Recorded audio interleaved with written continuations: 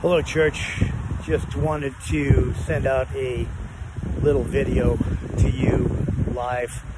Uh, just heard recently that, uh, according to the media, that they are announcing that Joe Biden is president.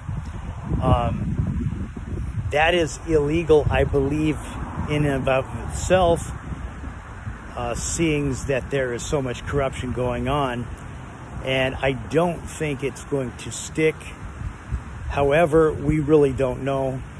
Uh, I'm not I'm not Houdini, but I do know this that our God is a God of truth and righteousness and justice, and we don't need to give up the fight just yet.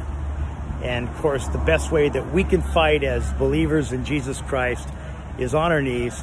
So keep praying for our president. Keep praying for this great nation. Uh, we certainly do not ever want to have that kind of corrupt leadership take over in a coup, which is exactly what this would be. And so we pray for our justice system to be wrought out, even all the way up to the Supreme Court. So please keep this in prayer. Keep praying for one another. Keep praying for the Church of Jesus Christ.